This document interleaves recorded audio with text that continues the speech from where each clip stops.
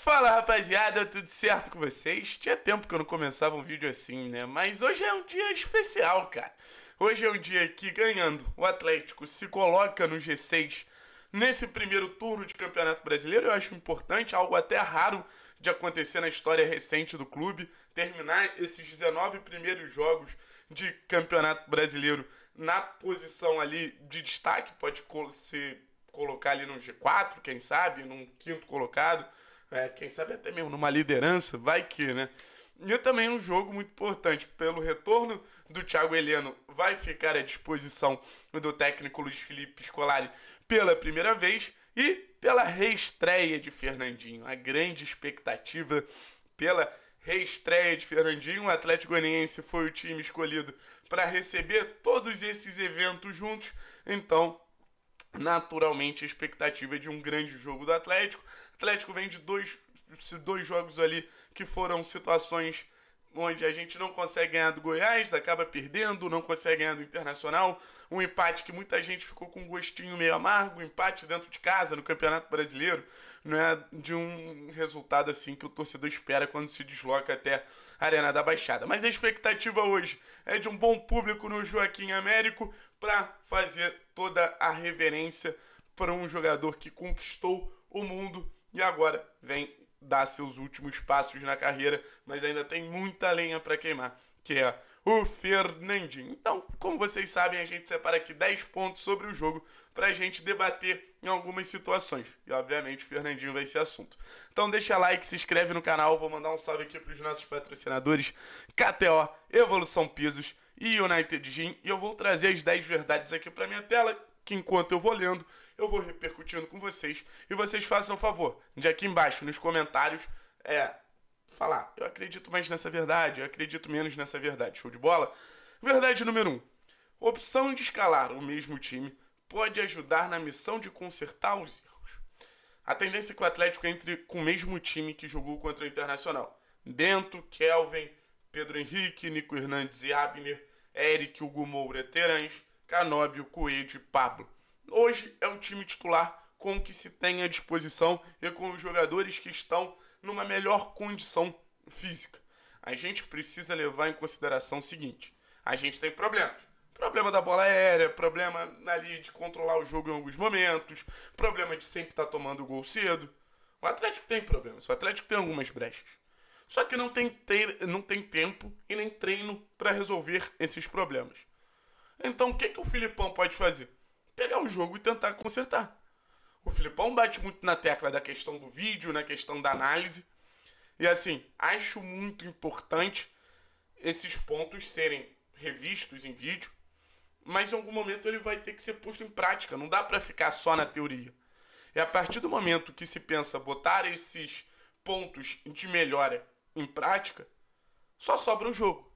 Então assim, dar uma sequência para a equipe, eu acho válido por esse aspecto também, né? Óbvio, você dá mais entrosamento, os jogadores começam a se conhecer mais, mas nessa questão de consertar os pontos que hoje são necessários. O número 2, o clima no vestiário amanhã vai estar diferente pela presença de Fernandinho e Thiago Heleno. O próprio Atlético já anunciou, os dois jogadores estão relacionados. Thiago Heleno se machucou no Atletiba no Campeonato Paranaense e o Fernandinho relacionado pela primeira vez. Cara, o clima no vestiário, acredito eu, vai estar maravilhoso, assim. Maravilhoso porque os jogadores vão estar numa situação mais leve, vão estar olhando assim e falar: caralho, Fernandinho tá aqui no vestiário com a gente. Da mesma maneira que há dois meses atrás a gente estava vendo o Fernandinho numa Liga dos Campeões contra o Real Madrid, a maioria desses jogadores também. Então o impacto ele é natural. A maioria desses garotos jogaram videogame com o Fernandinho. Agora eles vão jogar juntos. E o Thiago Heleno, uma lenda do clube que precisa ser muito, muito, muito, muito, muito, muito, muito respeitado, sabe? Então, acho importante a gente é, destacar como vai ser diferente a hora da oração, como vai ser diferente o aquecimento, a hora da altinha. Imagina, a altinha era de Anderson, era de Pedrinho, era de Babi e era de Abner. Agora vai ter um Fernandinho no meio. Muda tudo, cara. Muda tudo. E acho que muda para melhor. Eu acho que o Atlético, numa sequência que existia e era uma sequência pesada, ele precisava de um fator novo para dar uma revigorada ali no, nos jogadores, tá ligado? Número 3. Mesmo tendo que dar sequência para a equipe, Felipão poderia buscar algumas alternativas táticas para os momentos mais decisivos. É um feedbackzão. A gente vai pegar Flamengo, a gente vai pegar Estudiantes, então, cara, testa um Romulo, testa um Vitor Roque, testa ali, sei lá, uma escalação diferente em algum momento utilizando três zagueiros. Porque a gente não pode chegar em jogos como Flamengo, Estudiantes, sem um plano B, sem um plano C, sem um plano D. Então, assim, eu entendo que o Filipão não tenha tempo para treinar. Mas, se o resultado, obviamente, também estiver ao nosso favor, eu acho que a gente pode utilizar isso para, cara, vamos testar isso aqui. Vamos melhorar isso aqui. O garoto, vem e faz isso aqui. Vitor Bueno, faz um segundo volante. Às vezes você descobre alguma valência, alguma qualidade de um jogador que pode ser muito útil no momento específico, como foi o Rômulo de ponta rendendo muito mais que o Rômulo centroavante. Número 4, Bento vem melhorando muito nas suas reposições. Eu acho que o Bento ele vive um momento talvez o de maior estabilidade desde que ele assumiu o gol do Atlético, né? A defesa no último momento ali contra o Internacional, acho que foi muito impactante para sua imagem com a torcida. A gente consegue ver no termômetro das redes sociais como a torcida ela tá mais disposta com o Bento. A torcida que já criou algumas situações para pegar no pé do garoto. E as reposições dele vem melhorando. A gente quase faz um gol contra o Internacional numa reposição dele direto pro Coelho. Então, como eu sempre falo, aqui a gente tem o privilégio de estar tá acompanhando diariamente o Atlético, sabe?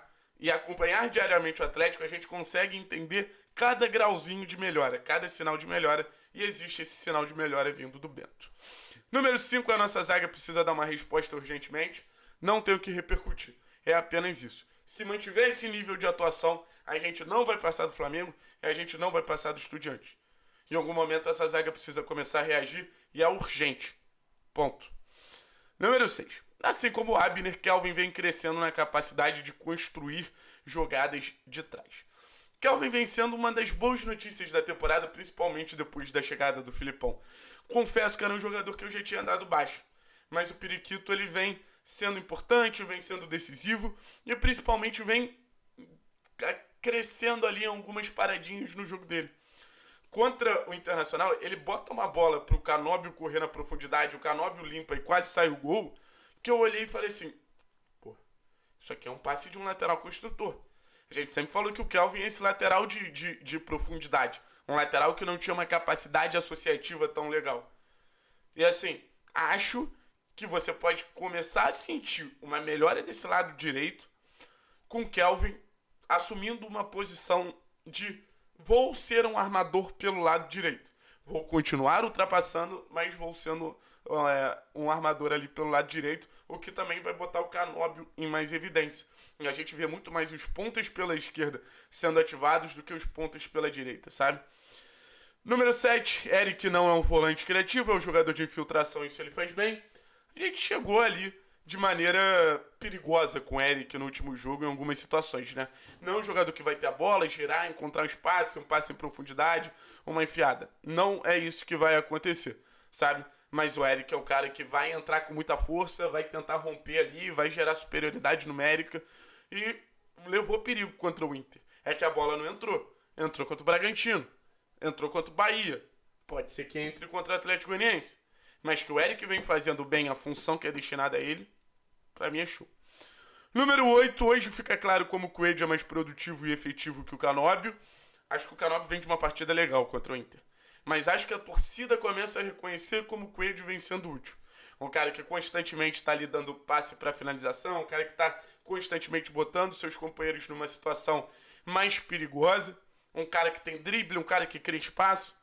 Coelho hoje é um dos jogadores mais importantes do Atlético. A gente sempre fala dos jogadores que são pontos de equilíbrio.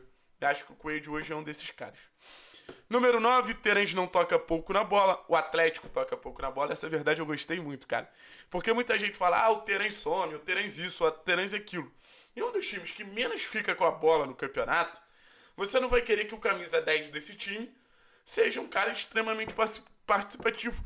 Porque não é do time, da estrutura da equipe, da intenção da equipe ativar esse cara a todo momento. O Atlético é um time de ataques rápidos, ataques diretos, sabe? Então não adianta pegar o Terence para Cristo e para terminar. Pablo se movimenta de maneira muito inteligente, acaba gerando espaço, acaba abrindo algumas situações, movimenta o jogo, mas às vezes esquece do seu principal posicionamento, que é ser atacante. Quem é muito maduro em relação a isso acaba sendo o Abner. O Abner ele fala: Cara, pode ser que eu tenha até que atacar mais. Mas meu primeiro, minha primeira responsabilidade aqui é defender. Minha primeira responsabilidade é entregar nessa linha defensiva aqui. Quando eu tiver capacidade de subir, entender que vale a pena, show. E se o treinador me liberar. Mas primeiro eu sou um defensor. E o Pablo tem que pensar nisso. Se movimentar, gerar espaço, dar assistência, foda. Mas primeiro ele é nosso cara ali da centroavância. Sabe? Não dá pra, em alguns momentos, o Atlético procurar o Pablo ali e não ter o Pablo ali. Dez verdades sinceras sobre Atlético e Atlético Goianiense. Vamos pra cima deles que não vai ser jogo fácil. Atlético Goianiense tem um timezinho chato. Salve o Wellington Rato.